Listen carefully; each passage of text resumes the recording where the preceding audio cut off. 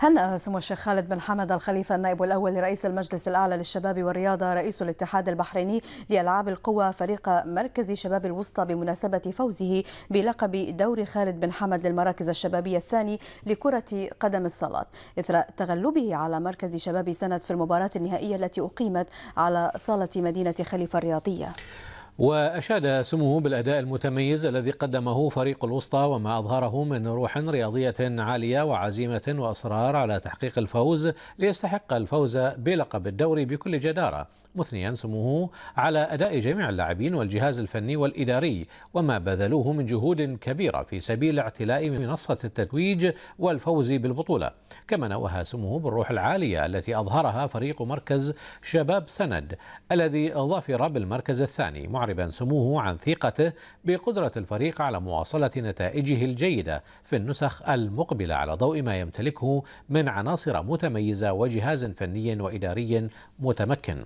وأعرب سمو الشيخ خالد بن حمد آل خليفة عن تقديره للدور البارز الذي قامت به المؤسسة العامة للشباب والرياضة برئاسة سعادة هشام بن محمد الجودر رئيس اللجنة العليا المنظمة للبطولة وكافة أعضاء اللجنة المنظمة للدوري في سبيل إنجاز كافة الترتيبات التنظيمية الدقيقة التي أسهمت في إنجاح الدوري وإخراجه بصورة زاهية على كافة الأصعدة. منوها سموه بالحفل الختامي الرائع وما صاحبه من فقرات فنية واستعراض استعراضية وحضور جماهيري وإعلامي متميز. كان بمثابة مسك ختام رائع لمسابقة الدوري التي أقيمت على مدار شهر تقريبا وكانت حافلة بالإثارة والندية والمنافسة الشريفة بين شباب المملكة. وأضاف سموه أن المبادرة التي قدمتها إدارة دورة الروضان الرمضانية التي تقام بدولة الكويت سنويا بمنح الفائز بالمركز الأول فرصة المشاركة في النسخة القادمة من دورة الروضان قد شكلت إضافة كبيرة لدور المراكز الشبابية هذا العام ومنحت المسابقة زخما إضافيا منوها سموه إلى أهمية دورة الروضان التي تعد واحدة من أهم الدورات الرياضية على مستوى كرة القدم داخل الصالات لكونها تستقطب مجموعة من اللاعبين المتميزين والمشاهير في اللعبة. مثمنا سمو تلك المبادرة من قبل إدارة الدورة والتي تعكس متانة العلاقة القوية بين مملكة البحرين ودولة الكويت الشقيقة في جميع المجالات وبالأخص المجال الرياضي. وأكد سمو الشيخ خالد بن حمد أن التميز الذي شهدته النسختان الأولى والثانية يشكل دافعا للاهتمام بالمسابقة التي أصبحت واحدة من الحواضن المهمة للشباب الرياضي في المملكة والتي تتوافق بشكل تام مع رؤية المجلس الأعلى للشباب والرياضة برئاسة سمو الشيخ ناصر بن حمد آل خليفة الرامية إلى الارتقاء بمسيرة المراكز الشبابية في المملكة وتعزيز إسهاماتها في تطوير القطاع الشبابي والرياضي من خلال استقطاب الشباب وتوجيه طاقاتهم بهم التوجيه السليم وتنظيم الأنشطة والفعاليات التي تلبي ميولهم واهتماماتهم المتنوعة مؤكدا حرص سموه على تقديم كافة أشكال الدعم والمساندة لهذه المسابقة التي أسهمت في تعظيم دور المراكز الشبابية على الساحة الرياضية وأسهمت في اكتشاف العديد من المواهب والخامات الكروية الواعدة في كرة القدم داخل الصالات لتشكل رافدا أساسيا للأندية والمنتخبات الوطنية. وأضاف سموه أن الإقبال الكبير على المشاركة من قبل شباب مدن وقرى المملكة والنجاح الذي حققه الدوري لهذا العام يبعث على الارتياح ويحفزنا على تقديم كل ما من شأنه خدمة شباب الوطن الذي يعد الثروة الحقيقية لمملكتنا الغالية. مؤكدا سموه ضرورة تبني مثل هذه البرامج الشبابية التي تتيح الفرصة أمامهم لتفريغ طاقاتهم وإبداعاتهم. وحث سمو الشيخ خالد بن حمد آل خليفة المؤسسة العامة للشباب والرياضة واللجنة المنظمة على الاهتمام بالدوري بشكل مضاعف والإعداد والتحضير للنسخة المقبلة لتظهر بصورة أكثر تميزا بما يحقق تطلعات وآمال جميع المراكز الشبابية المشاركة. وأعرب سمو عن خالص شكره وتقديره لكافة الجهات الداعمة لدور خالد بن حمد للمراكز الشبابية وفي مقدمتها الشركات الراعية وكافة الوزارات والهيئات الحكومية التي كان لها أثر بارز في نجاح النسخة الثانية من الدوري. مثمنا سموه كذلك تعاون جميع المراكز الشبابية بمختلف محافظات المملكة والتي كان لها بصمة واضحة في خروج المسابقة بأفضل صورة. وقد أناب سمو الشيخ خالد بن حمد آل خليفة النائب الأول لرئيس المجلس الأعلى للشباب والرياضة رئيس الاتحاد البحريني لألعاب القوى رئيس المؤسسة العامة للشباب والرياضة سعادة هشام محمد الجودر للمباراة النهائية لمسابقة دوري خالد بن حمد للمراكز الشبابية الثاني لكرة القدم. وتوج سعادة هشام محمد الجودر بحضور أمين عام اللجنة الأولمبية البحرينية عبد الرحمن صادق عسكر ورئيس الاتحاد البحريني لكرة القدم سعادة الشيخ علي بن خليفة آل خليفة ورئيس اللجنة العليا المنظمة لبطولة الروضان خالد الروضان ورؤساء المراكز الشبابية في المملكة. توج فريق مركز شباب الوسطى بكأس المركز الأول والميداليات الذهبية فيما قلد فريق مركز شباب سند ميداليات المركز الثاني.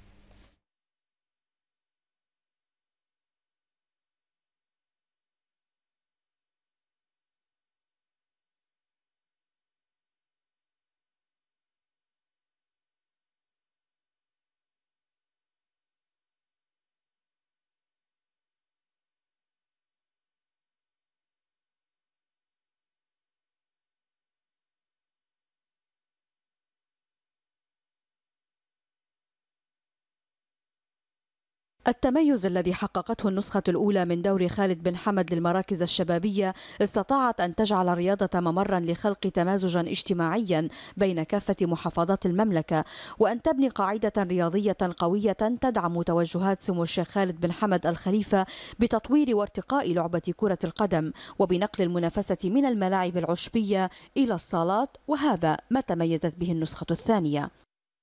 البطولة يمكن حققت نجاحات ورأينا نجاحات من البداية بمشاركة آه، المجموعة الكبيرة من الشباب آه، البحريني آه، من مختلف مناطق مملكة البحرين. مشاركتهم كانت السبب الرئيسي وراء النجاح هذه البطولة. رعاية سمو الشيخ خالد بن حمد لمثل هذه البطولة للسنة الثانية على التوالي. وترجمته لاهتمامه حقيقة بالشباب وبالمواهب الشبابية. وإحنا نحاول مثل هذه البطولات انه يكون لها دور آه، في إثراء الحركة الرياضية مملكة البحرين وأيضا تخريج آه، لاعبين آه، في كرة القدم. في تنافس وتنافس شريف لكن شفنا الألفة والمحبة موجودة بين الجميع. سمو الشيخ خالد بن حمد الخليفة بما يوليه من اهتمام بتطوير قدرات الشباب البحريني حرص من خلال مبادراته المتواصلة أن يحتضنهم ويرعاهم ويوجه طاقاتهم التوجيه السليم. وهذا كان الهدف الأسمى الذي يسعى إليه سموه من خلال دور خالد بن حمد للمراكز الشبابية ليكون نقطة التقاء لتحقيق مبادئ الأخوة والتلاقي بين جميع أبناء المملكة. لا شك هذه البطولة لها أهمية كبيرة بالنسبة لي. آه، خدمة شريحة المراكز الشبابية. وما في شك كاتحاد كرة هذا سينعكس إيجابا على على خدمة رياضة الصالات بشكل مباشر وكرة القدم بشكل عام. ولا شك إحنا كاتحاد بحريني تشرفنا بأن نتواجد منذ الانطلاق أو منذ آه، يعني التنظيم لهذه البطولة.